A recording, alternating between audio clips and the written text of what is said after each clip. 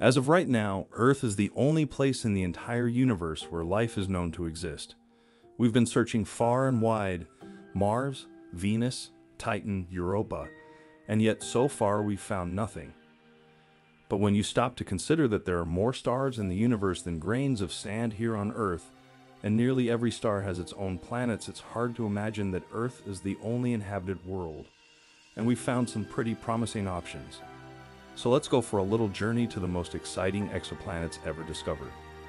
But these planets aren't boring and dry like Mars, these are super habitable worlds that are bigger, better, and more suited for life than Earth. This planet is considered to be the best candidate for a super habitable world. A massive rocky world twice the size of Earth orbiting in the habitable zone of its star.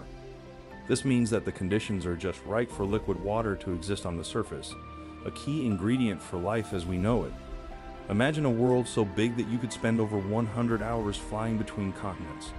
There would be so much more land for life to thrive on compared to here on Earth. It orbits a very special kind of star. You see, our Sun is a G-type main sequence star, sometimes referred to as a yellow dwarf, and these stars only hang around for 10 billion years. Our Sun is nearly halfway through its entire life cycle, meaning in around 5 billion years the Sun will expand into a red giant star could consuming the Earth in the process. But in the case of KOI 571501, dreadful name I know, it orbits an orange dwarf star. These stars are a little smaller than our Sun, but they are so much more stable. In some cases, hanging around for up to 70 billion years. Life on Earth has been evolving for just 4 billion years. Can you imagine what life might look like after 70 billion years of evolution? That's when you start getting into Tier 3 civilizations in Dyson sphere territory. While this world does sound perfect, and I'm sure you want to move there right now, I have to be honest with you. This planet is so far away. I'm talking 3,000 light years away, meaning that if you and I wanted to leave today and head on a trip to visit this planet, and we somehow convinced NASA to lend us an Orion spacecraft, it would still take us over 100,000 years. Maybe one day we'll have a rocket quick enough to get us there in a reasonable amount of time, but for now we can only dream about what interesting life forms might be thriving over there. Maybe we should check out something a little closer to home. Just 39 light years away, we come across a potential safe haven for life. Seven Earth-sized worlds huddled tightly around their star, three of which orbit within the habitable zone. This is the TRAPPIST-1 system, first discovered back in 2017 and for the last five years, astronomers have been spending every waking minute researching the system in an attempt to find life. So they were able to detect this gold mine of planets by looking at how the star's brightness dipped ever so slightly as each planet passed between us and the star. This is known as the transit method. These planets are much older than Earth, meaning life there would have had at least 3 billion years to evolve before Earth was even finished forming.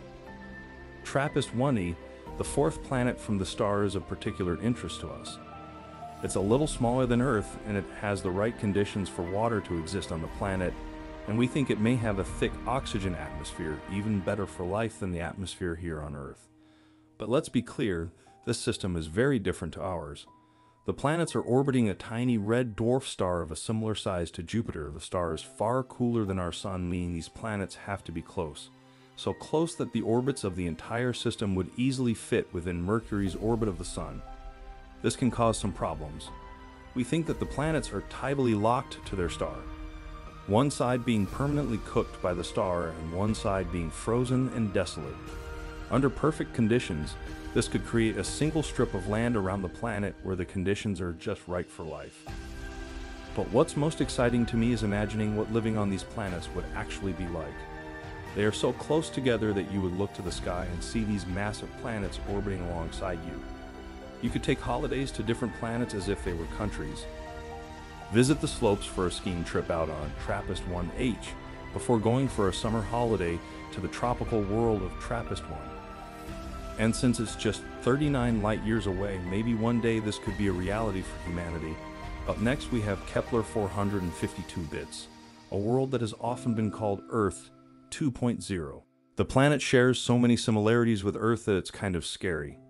It orbits a sun-like star every 384 days. That's just 5% longer than our year here on Earth. This would also make every single month exactly 32 days, which just kind of feels right. This is a super Earth, though, meaning it's roughly 50% bigger than Earth. This means more land, larger continents, and potentially more water.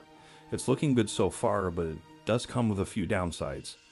While it is just 50% larger than Earth, it's actually five times more massive, meaning gravity will feel twice as strong on the surface, and everyone therefore will weigh twice as much. But here's where things get interesting. As far as we can tell, this is the only planet in the Kepler 452 system.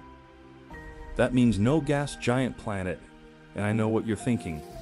Jupiter protects us from asteroids here on Earth, so wouldn't this planet just be completely destroyed by asteroids?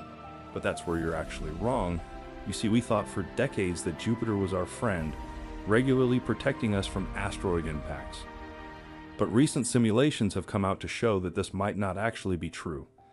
The paper showed that a solar system without Jupiter would actually have 3.5 times less asteroid collisions here on Earth.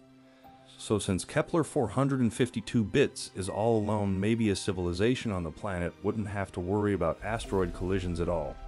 But it is far from perfect. Its star is slightly older than our own, and as sun-like stars become older, they tend to become more energetic, and as a result, the planet might be receiving too much radiation, slowly warming the planet and eventually leading to a runaway greenhouse effect. This could leave the planet looking a lot less like Earth and more like Venus killing off all life on the planet for good. We end our journey 600 light years away from home, in the distant constellation of Cygnus. This is Kepler 22b, one of the most interesting super Earths ever discovered. This planet has stumped astronomers for years. It orbits well within the habitable zone, and our best observations point towards this planet being a true water world, just like Miller's planet from Interstellar. A massive ocean covering the rocky inner core that is hundreds of kilometers deep.